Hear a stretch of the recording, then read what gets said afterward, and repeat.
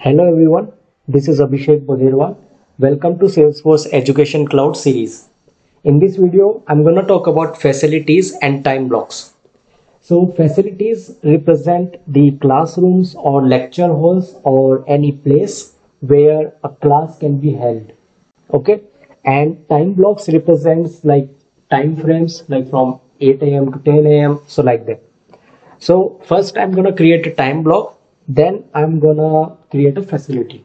Okay so let's get started.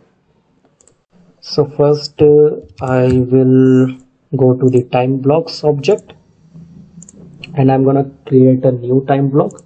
So let's say uh,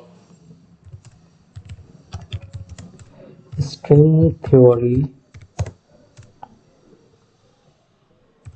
afternoon block okay any any name you can provide and educational institution if you have the account uh, I do not have created any institution account, account so I'm gonna leave it blank a start time I'm giving that is afternoon so let's say I'm giving from 1 p.m. to 2 p.m.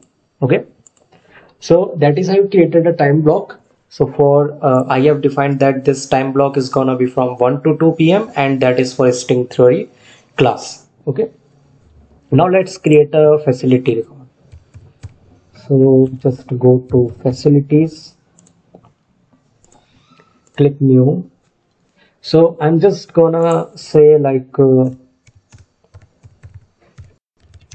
classroom 101. Okay. And uh, facility type i'm providing it as a, a, classroom. Account let's say i'm giving bsc science that represents the academic program. And if you have any parent facility you can provide and capacity let's say i'm saying 200 and save. Okay? So that's how you create a time block and facility in education cloud where facility represents the uh, physical space or place uh, where a class can be held and time block represents the time frame for a day like from 1 p.m. to 2 p.m. or 8 a.m. to 9 a.m. like that. So uh, we are gonna use the, these two things uh, in the course offering schedules that uh, that I am gonna talk about in next video.